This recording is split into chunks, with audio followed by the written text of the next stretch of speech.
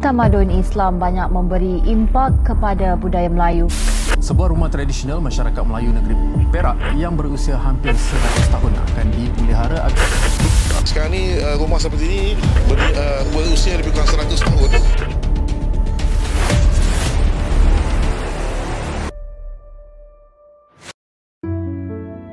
the Centre for Knowledge and Understanding of Tropical Architecture and Interior or KUTAI is a research group for the study of heritage architecture particularly in Perak and spread out to the region of Malay Archipelago or Nusantara. Heritage architecture is a manifestation of our thoughts, lifestyle, culture and tradition. Heritage architecture witnesses to the aesthetic and cultural history of a place. Heritage architecture is under threat and facing challenge of becoming non-existence. Poor planning of new development, natural disaster, deterioration, low awareness are some of the issues related.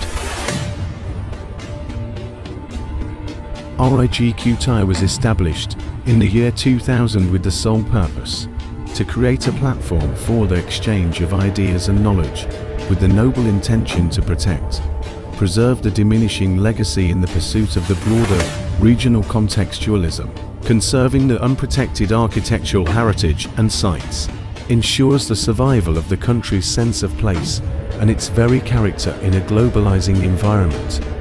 It offers the opportunity not only to conserve the past, but also to define the future.